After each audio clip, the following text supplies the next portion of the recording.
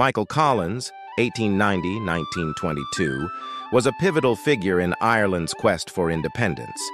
As a leader in the Irish War of Independence, he played a crucial role in organizing the Squad, a unit responsible for targeted assassinations against British forces.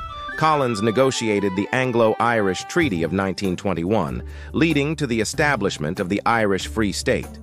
Tragically, he was assassinated during the Irish Civil War in 1922.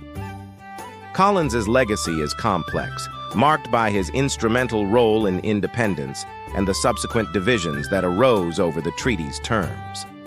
His life is commemorated in various ways in Ireland, and his story has been the subject of numerous books and films.